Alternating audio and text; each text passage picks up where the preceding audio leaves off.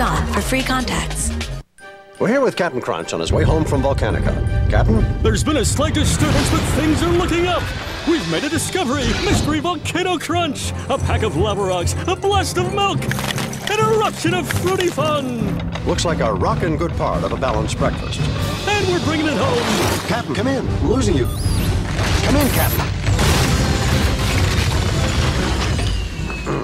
He did say, come in. Mystery Volcano Crunch for a limited time.